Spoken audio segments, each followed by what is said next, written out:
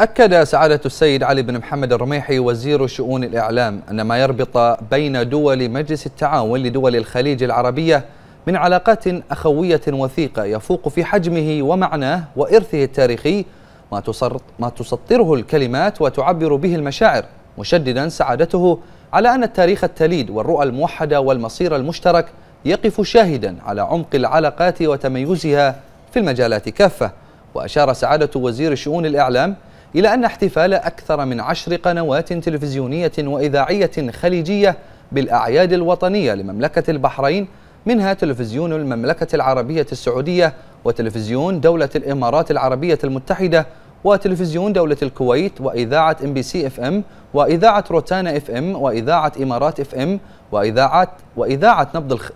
وإذاعة نبض الكويت وغيرها من القنوات التلفزيونية والإذاعية الخليجية. عبر بث مشترك وربط إذاعي وتلفزيوني مع تلفزيون وإذاعة مملكة البحرين بالإضافة إلى تخصيص برامج وفقرات وطنية يعكس ما يربط بين دول وشعوب مجلس التعاون لدول الخليج العربية من علاقات أخوية تاريخية وثيقة ويمثل ملحمة وفاء خليجية تعتز بها مملكة البحرين.